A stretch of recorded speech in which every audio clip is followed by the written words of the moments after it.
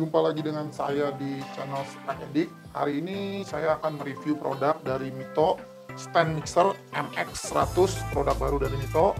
Nah, eh, jika kalian membeli produk ini, kalian akan mendapatkan seperti biasa buku petunjuk manual dari Mito berbahasa Indonesia, kartu garansi yang harus kalian simpan untuk berjaga-jaga jika terjadi masalah pada produk.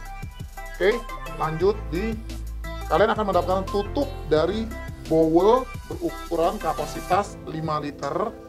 Bowl uh, tutup ini nanti akan dipasang di produknya. Nanti saya akan ajarkan kalian cara memasangnya. Lalu kalian mendapatkan whisker planetary, hook, dan beater. Lalu kalian juga akan mendapatkan spatula. Kalian mendapatkan uh, spatula ini bisa digunakan untuk memisahkan kuning telur. Ya, nah kita balik ke produknya. Oke, produknya ini akan terdapat tombol untuk tilt ya kalian tekan. Tilt lalu ada uh, speed. Speed ini bisa sampai 12 ya. Di sini ada petunjuk penggunaan. Jika menggunakan hook level 1 sampai 6 jika menggunakan heater level 7 sampai 9 jika menggunakan planetary level 10 sampai 12 nah masing-masing kegunaannya planetary whisker ini fungsinya untuk seperti mengocok telur ya yang ringan-ringan saja ini. Kalau untuk bitter bisa untuk mengocok krim atau yang setengah berat.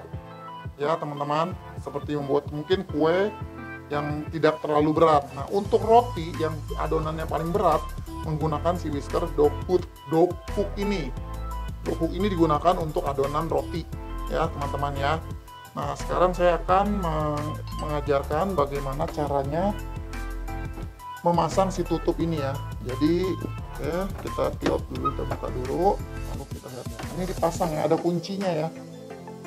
Lihat di sini ya. Nah, di sini ya. Masuk, lalu kalian tinggal kunci, putar ke kiri. Jadi putar ke kanan. Nah, si tutup akan mengunci. Lalu bowl ini kalian taruh, oke. Oke. Lalu kalian tutup nah seperti ini. Jadi kalian uh, tutup ini mencegah dari adonan keluar dari wadah ya.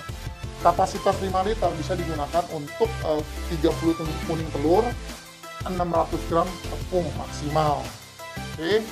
lalu uh, oh iya ada anti slip ya di bawahnya ya. Nah kalian lihat ya. Ada anti slip sehingga pada saat penggunaan ibu-ibu atau teman-teman tidak usah merasa takut bahwa si produk ini akan bergeser atau bergerak. Karena nanti si anti slip ini akan mengunci cukup keras di lantainya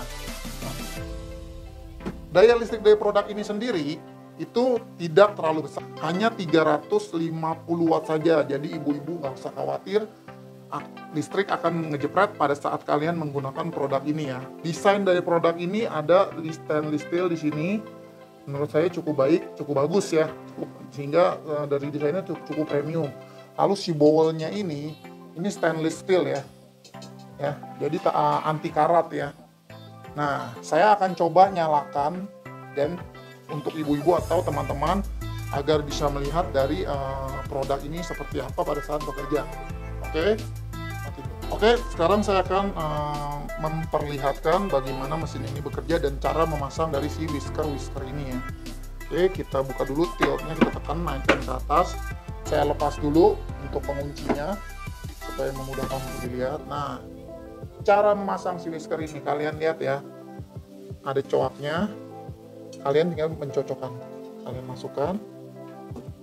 Begitu pas, tekan, lalu diputar ke kanan. Dia akan mengunci ya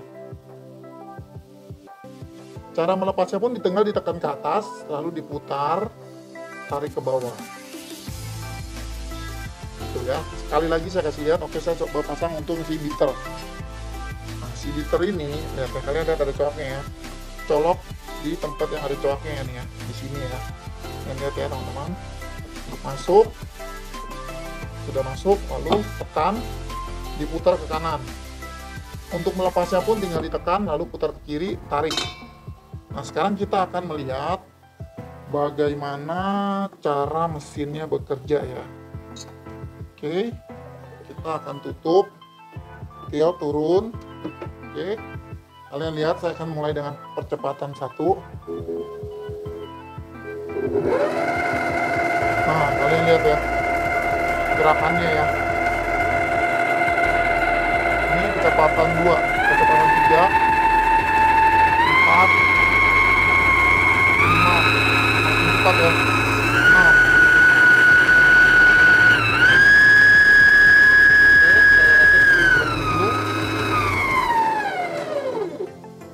Sebagai informasi tambahan ya, produk ini punya satu benefit yang sangat bagus menurut saya.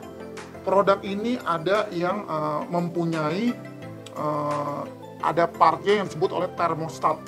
Jadi produk ini akan si termostat ini akan membaca uh, panas dari mesin produk ini. Pada saat dia kepanasan lebih daripada kapasitasnya, maka si termostat akan bekerja dengan mem- memutuskan aliran listrik si produk ini. Jadi secara otomatis produk ini akan mati, tapi teman-teman gak usah khawatir, itu bukan rusak. Tapi itu adalah cara termostat mencegah produk ini rusak, gitu sebaliknya. Nah, setelah produk ini mati, teman-teman biarkan selama 45 menit sampai dengan 1 jam. Setelah itu teman-teman bisa coba kembali nyalakan dan produk ini akan bekerja seperti biasa. Jadi tidak akan ada pengaruh apa pun setelah si setelah si termostat memutus aliran listrik itu.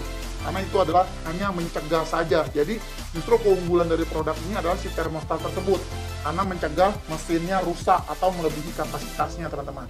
Oke, itu saja review produk dari saya. Jika kalian suka dengan video ini, jangan lupa di subscribe, di like, di share, dan komen di kolom description jika ada uh, ide-ide dari teman-teman atau inputan dari teman-teman. Saya akan senang untuk menerimanya. Oke, itu aja dari saya. Terima kasih.